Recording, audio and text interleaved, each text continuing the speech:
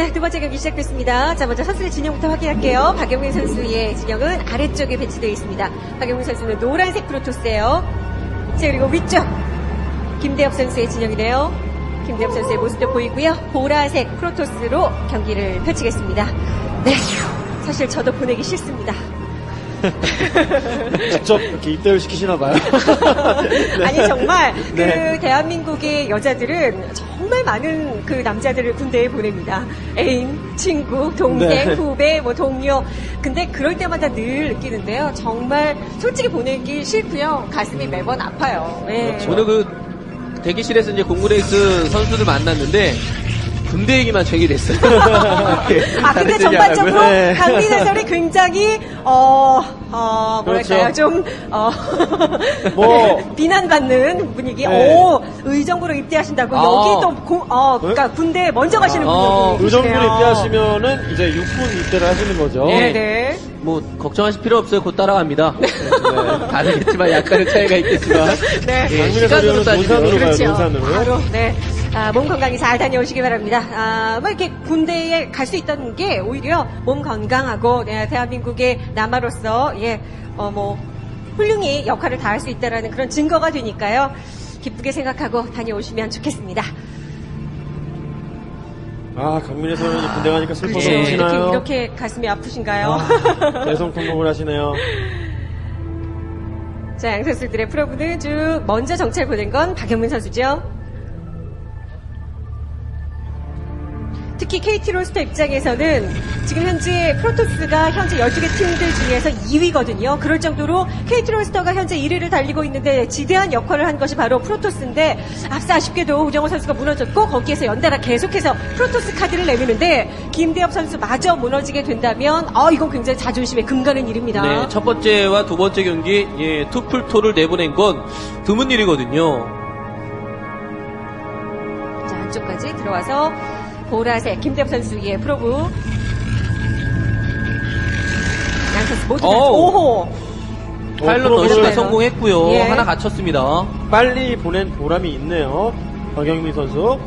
미네랄까지 들고 있는 probe를 갇히게 만들었어요. 이거 양득이에요. 예. 그렇죠. 무거울 것 같아요. 저 미네랄만 옆쪽 probe에게 딱 전달해주는 기능이 있으면 네. 네가 갖다 놔라. 예. 네. 소스 기능. 예. 아, 그렇죠. 스타크래프트 배틀넷 토론장에 한번 강민의 선언이 올리면 왠지 될 것 같아요. 네. 모르겠습니다. 스타2에는 그런 기능이 있을지 없을지. 네. 자, one zealot 째고 있고 여기서. 다시 한번 pylon 러시가 성공을 한다면 어, zealot으로 이제 probe 잡는 것도 굉장히 수월해질 텐데 한 번 더, 한 번 더, 노려, 보나요 한 노려보나요? 번. 노려보나요? 노려보나요? 어. 자, 한번 더. 예. 아, 자, 아, 자. 아, 오. 아, 됐어요. 아. 세개 갇혔어요. 오, probe 오, 세 많이, 개. 많이 셋이. 가셨어요. 자, 그리고 그러니까 지금 하나 zealot까지. 들어왔습니다. 야, 오늘 공군 제대로 좀 KT 1위 팀을 흔들고 있어요. 자, 게다가- 프로브 세 개가 또 야. 하나 잡- 잡았고, 네. 아, 세 개가 아닌가요? 네 개네, 네 개. 아, 세 개에 세 개. 네. 꽤나, 꽤나 일단 자원 채취에 네기인데요, 네기, 있고. 네기, 네기, 네. 네기. 네 네기 개가 둘이 나왔어요. 둘이 나왔어요. 자, 이러면 자원 채취율에서 확실히 기- 박영민 선수가 앞설 수 있어요. 네, 네. 일단 어, 심리적으로 흔들 수 있는 아주 그냥 큰 기회를 제공한 거고요. 두 번까지 성공을 하면서 질러 들어가지고 프로브로 갇히게 된 데다가 일하는 프로브도 잡고 말이죠. 예. 박영우 선수가 일단 기선을 잡았다고 보시면 되는 겁니다. 게다가 저 pylon으로 또 시야를 어, 밝혔기 때문에 어떤 건물이 올라가는지 조금이나마 더 늦게까지 볼 수가 있었고요.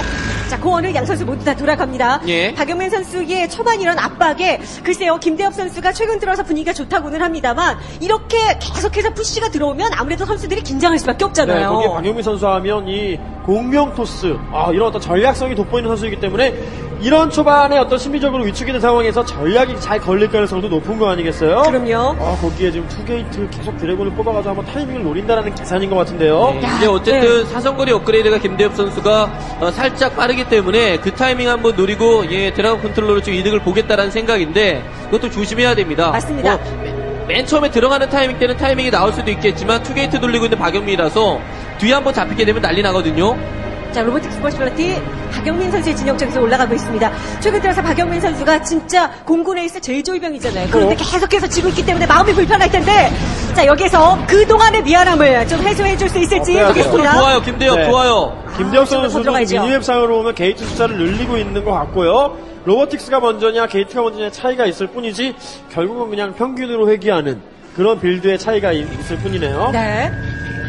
자, 그러면 초반에 이분 damage를 얼마나 극복할 수 있느냐? zealot 하나 자, 더 가지고 돼. 있는 약간 맞았던 맞았네요. 대로 그렇죠. 자, 야, 야. 컨트롤 좋아요. 네, 네. 아까 그 dragoon을 바로 찾아냈어요 김대엽 선수가. 맞습니다. 이득 많이 봤습니다, 김대영.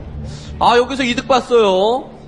자, 추가, 어, 네, 제이 매너 팔런 나오까지는 시간 좀 걸리고요. 당한 거 정도의 어떤 기세 싸움에서 어떤 뒤집는 모습을 김대엽 선수가 보여주는 거죠. 어, 나도 할 만큼 한다. 라는 걸 일단 좀 기세 싸움에서 밀리지 않는 모습을 김대엽 선수가 보여줬고요. 자, 그러면서 더 무리하지 않고 일단 네. 병력들을 뒤로 빼죠. 아, 위쪽에 있는 또 정찰 프로브까지 잡아줬고요. 이렇게 되면 아, 옵드라 체제로 흘러가면서 앞마당 nexus 어프한 뒤에는 뭐 reaver를 이제 생각을 해줘도 되겠고요. 아예 아, 첫 reaver까지 생각을 하고 있는데요. 예, 빠른 멀티보다도 먼저 one reaver 타이밍을 네. 만들어서 찌르겠다라는 생각입니다. 아무래도, dragoon을 네. 찔러보고 박영민 선수의 dragoon 숫자를 보고 dark는 아니라는 확신이 있었기 때문에 거기서 robotics support bay tech를 탄 거예요. 자, 아무래도 초반에 약간의 내가, 아, 내가 심리적으로 타격을 입은 것 같다라는 생각이 드니까 이렇게 보다 공격적인 움직임을 김대엽 선수가 꺼내 드는 거고요. 네.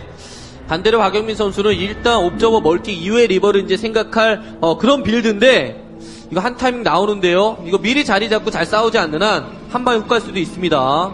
자, 셔틀까지 나와서 대기하고 있는 김대엽 선수의 진영. 자, 그 사이 앞마당을 내려갔습니다. 박영민.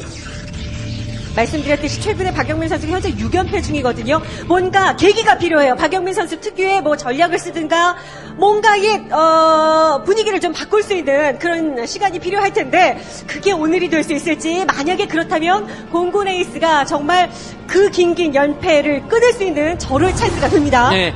observer가 센터 쪽을 이제 경유해서 예, 좁은 길목 쪽으로 올라가죠. 예, 설마 dark가 올 수도 있으니까 그쪽으로 시야 밝히면서 올라가고 있는데 네. 엇갈렸습니다. 지금 그러네요. 병력이 빠지는 움직임을 체크를 했네요. 예, 아, 봤어요. 딱 잘하네요. 봤어요.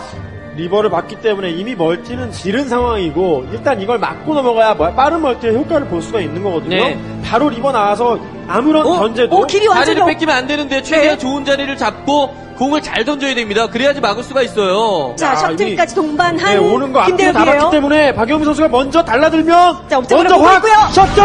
셔틀! 아, 그럼 리버 체력 아, 스틸은 한- 그래도 못 쐈어요. 스틸은 네. 못 날렸습니다. 그러면서 자, reaver가 어, 올 때까지 reaver가 올 때까지 야, 이거 앞마당 취소해야 뒤로 되겠는데. 뒤로 아, 뒤로 앞마당 빠질 수밖에 완성됐네요. 자, 완성이 됐으면 아. 이제 취소는 물 건너 간 거고 여기서 근데 지키느냐 그렇지 못하느냐 싸움이에요. nexus를 지키면서 이걸 막아야 사실은 이기는 tech를 타는 건데. 아, 근데 못 지키겠는데요. 예. 아, 앞마당 nexus 깨졌고 그 사이에 김대엽 선수는 여유롭게 보란 듯이 nexus 소환. 그렇죠. 너무 허무하게 지금 nexus를 잃은 상황이 됐기 때문에 아 좀 아쉽네요 박영민 선수. 예, 이렇게 되면 김대엽 선수가 많이 앞서 나갑니다. 예, 넥서스도 지금 업하고 있고 상대방 넥서스를 파괴하고 자신이 원리버를 가지고 있는 상황에서 입구 쪽을 지키고 있다. 이러면 박영민이 원리버 나온다고 해도 무조건 못 내려와요. 네, 찬슬도 없고요. 예.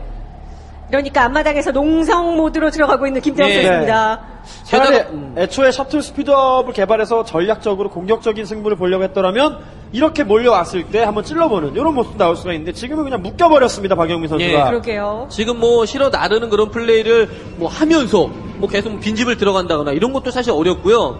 셔틀 소금 이제 지금 당장 눌러주기에도 자원이 좀 빡빡한 상황입니다. 그리고 뭐 시간도 굉장히 많이 걸리고요. 그럼요. 한 2, 1리버나 원리버 됐을 때 최대한 뭐 아래쪽으로 좀 밀고 나오는 편이 좀 좋을 것 같은데 김대엽이 꼼꼼하게 지금 정찰해주고 있어요. 혹시나 물을 실어 나르기가 나올 수도 있으니까요. 그렇죠. 아 보통은 보통은 일단 상대방을 어, 묶어 놓은 선수들이 유리하다라고 저희가 늘 말씀을 드리는데 지금도 그럴 수밖에 없을 것 같은데요. 네. 리버 하나 더 실어옵니다. 묶어놨더라도 뭐 견제에 의해서 흔들리면서 역전당하는 상황이 어느 정도 예상이 되는 경기가 있는 반면에 지금은 딱히 어, 김대엽 선수가 역전을 당할 여지가 별로 없는 상황이에요. 예, 어, 실어 이게 나르는데요? 만약에 실어 나르는 것을 옵적으로 확인한다. 그럼 김대엽 투리버와 함께 네, 들어가면 들어가죠. 되는. 그렇죠, 그렇죠. 병력이 빠져있는데 기회죠. 네, 기회는 앞마당- 찬스다, 김대엽. 앞마당 주고 게이트도 날려버리면 맞습니다. 아, 이거 보나요? 딱. 걸리나요? 봤어요. 못본 척 해야죠, 못 본 척. 예, 정확하게 봤고요. 자, 이러면 김대엽 선수가 결정을 내리겠죠. 들어가는 결정 아니면 병력을 빼서 막는 결정.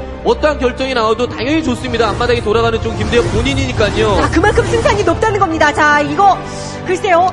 속업까지 됐고요. speed up 눌러준 상황이에요. 자, 이 셔틀 잡으러 갑니까? dragoon 자, 또 올라가요. 안전하게 해주는데 어차피 막으면 내가 경기 여기, 이기니까 저기. 무리하게 들어갈 이유도 없다. 예. 안전하게 네, 해주면 샌드위치! 되거든요. 아, 이번 때렸습니다만. 이게 뭔가요, 박영민 딱 네. 걸렸어요. 마지막 아. 마지막 기회였는데요. 박영민 선수에게는 회심의 한 방이었는데요. 저- 이거 잡히면 응. 끝이거든요. 병력을 되돌리거나 아니면 프로라도 많이 잡으면서 뭔가 좀 숨통 트일 수 있게 해주는 그런 셔틀 리버였는데 예. 이게 아 완전히 그렇죠. 가버리네요. 지금은 뭐 앞마당을 따라 붙는다고 해도 예 불리하면 어디에 안 가는 거고요. 계속 불리한 입장에서 경기하는 거고 리버 타이밍을 만들어서 엄청난 전투를 만들었어야 되는데 아 되게 어려워졌습니다 박영민. 자 이렇게 되면 박영민 선수보다 이거 좀 갇히는데요, 저 그러게요. 병력. 김대엽 선수가 갖고 있는 무기가 더 강력합니다. 네. 갇힙니다. 얘네들은 어떡합니까? 도망갈 때가 아, 지금은 투리버기 때문에 김대엽 선수가 뭐 들어가는 선택 어디로 들어가 이 병력 뭐 그렇죠. 잡아먹어도 되고 뭐 안 잡아먹어도 그만이고요. 박영민 선수 앞마당 쪽으로 가도 돼요. 훨씬 더 여유롭게 예, 선택의 가지수가 굉장히 많은 김대엽 선수예요. 세시 쪽 병력 그냥 무시해도 된다. 불쌍하니까 살려주자. 이런 느낌인 것 같습니다, 지금요. 그런 건 아닌 것 네. 같고요. 아, 아니, 얘네 유닛 입장에서 말이죠. 아이, 입장한 얘기예요. 그런 느낌이라고요. 맞아요. 그렇다는 게 아니라. 네. 자 내려옵니다 내려옵니다 그런데 이 병력은 사실상 아, 박영민 선수가 느끼기에는 굉장히 어마어마하게 달구는 느낌이거든요 예, 네. 드라군 숫자도 중요한데 Reaver 두 기가 워낙 압박이 좀 큰데 위쪽에 병력을 돌리는데 저것도 들키면 바로 즉사예요. 들키지 않는 아 또 probe가 여기 또 있네요. 원래 이런 애들이 더 얄미워요 예. 아, 그냥 자, 빠진 샌드위치인데요? 병력은 그게 대세에 지장 없다. 끝내자.